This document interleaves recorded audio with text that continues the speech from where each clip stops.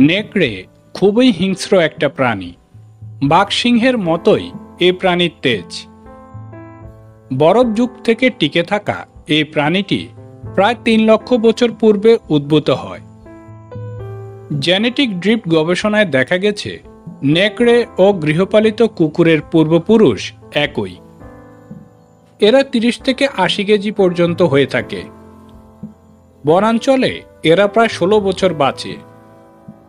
এদের দৌড়ের গতি ঘন্টায় পঞ্চাশ থেকে ষাট কিলোমিটার।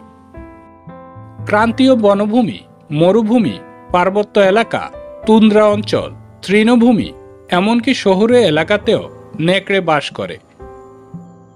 নেকড়েরা দল বেঁধে বাস করে। এদের দলকে ইংরেজিতে বলে প্যাক। একটি দলে সাত থেকে আটটি নেকড়ের পরিবার, যেখানে মা বাবা এবং সন্তান থাকে। এরা শিকার, সন্তান লালন এবং নিজেদের অঞ্চল রক্ষা করতে একসঙ্গে কাজ করে। নেকড়ের ঘ্রাণ শক্তি মানুষের চেয়ে একশো গুণ বেশি শক্তিশালী। তাদের ঘ্রাণের অন্যতম উৎস হল প্রস্রাব প্রস্রাবের গন্ধের মাধ্যমে তারা নিজেদের অঞ্চল চিহ্নিত করে।